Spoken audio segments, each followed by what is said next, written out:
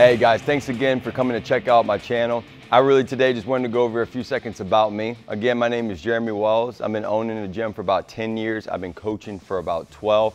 I also own competitions here in the Southeast in Louisiana. We have North Shore Games, Fit Fest, and Back to the Future. Also, I do coach when it comes to coaching coaches or actually coaching athletes or children.